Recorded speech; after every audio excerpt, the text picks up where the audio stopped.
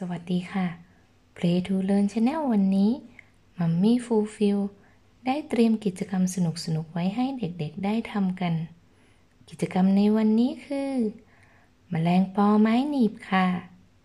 เด็กๆเคยเห็นแมลงปอกันไหมคะแมลงปอจะมีหัวโต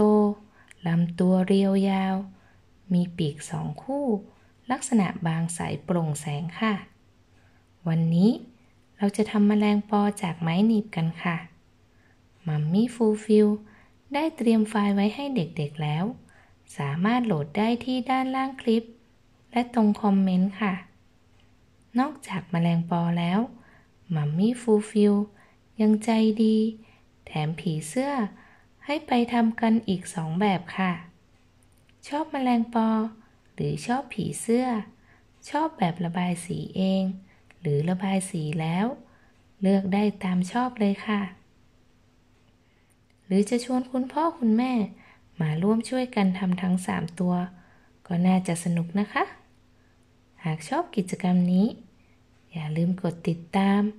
กด subscribe และกดไลค์เพื่อเป็นกำลังใจให้มัมมี่ฟูลฟิลและสามารถกดแชร์ เพื่อแบ่งปันความสนุกไปยังคนอื่นๆได้นะคะ เด็กๆพร้อมหรือยังคะ ไปเตรียมอุปกรณ์ แล้วไปทำแมลงปอไม้หนีบกันเลยค่ะ